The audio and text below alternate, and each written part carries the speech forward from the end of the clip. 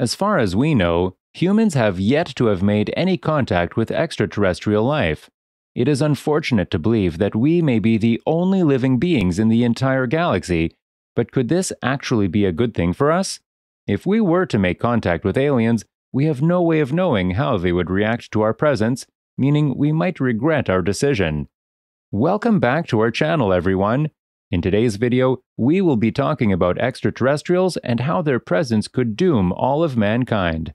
But before we get started, please take a moment to subscribe to our channel and hit the bell icon so you never miss any of our latest videos. Now then, let's get started. There is still great debate on whether humans should expose our existence to other cosmic civilization. Is it wise for us to try to communicate with intelligent life somewhere out in space? Although some people advocate for taking active methods to get in touch with other intelligent life forms, many oppose this idea. They believe there is a possibility that alien technology is far more advanced than our own on Earth, and they are likely to enslave the people on Earth or completely destroy the planet we call our home. There are billions of sun like stars in the Milky Way, many of which have their own terrestrial planets. If civilization on some of these planets developed at a similar speed as our own, these civilizations should be millions of years ahead of Earth. These civilizations may also have made a series of breakthroughs and could have begun to seek out and even colonize other planets. Earth and other stellar bodies were formed billions of years ago, and they all have different masses, structure, composition, and their proportion of stratum, water, and gas are all unique. This leads to create huge differences between planets, and therefore it is likely that extraterrestrial creatures may not exist in our physical cognition.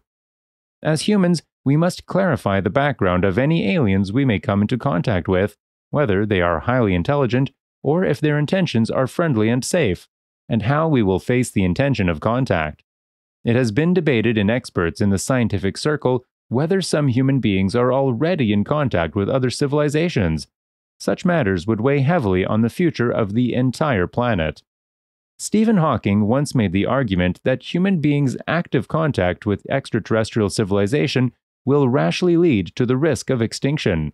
Hawking believes that the real challenge for mankind is not how to find or to be found by aliens, but to figure out what the aliens come from. On the contrary, optimistic scholars believe that contact with other alien civilizations may be beneficial for Earth because we can learn the technology of alien civilizations and benefit our own civilization by increasing human lifespan and even the ability to survive on Earth long term. With the loss of patience, some more radical scientists are simply turning from a defensive objective to an offensive one. The Active Search for Extraterrestrial Civilization project actively sends out signals trying to get in touch with potential alien civilizations and exposing the Earth. Such actions open the possibility to discover the fantasy, dreams, and ideas of other civilization and create a first contact with aliens. But humans have never had enough discussion about the next steps after contacting an alien civilization. While many scientists tried their best to reach out to or at least find alien civilizations, other scientists ask a key question Are we sure we are ready for aliens to find us? Andrew Siemion is an astrophysicist and director of the Breakthrough Listen project, which has been dedicated for many years to find aliens. He said, We cannot fully believe that there is a connection between technological progress and morality. There may be evil civilizations in other parts of the universe, so we should certainly take this into consideration when we continue to explore the universe. Recently, he has put pressure on any plans to search for alien life throughout various countries. He then said, Success in these searches will indeed change the world, but it does not guarantee that human civilization will continue to survive.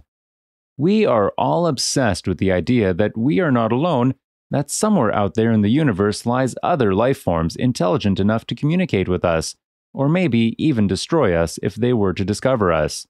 As there is no way of knowing for sure what could happen, should we really be using our time and resources to find other potential civilizations? Well, that is all for today's video. Thanks for watching. If you enjoyed our video today, make sure you hit the like button and subscribe to our channel for more interesting content just like this. Also, let us know your thoughts on the subject in the comments section below. We will be back very soon. Until then, take care.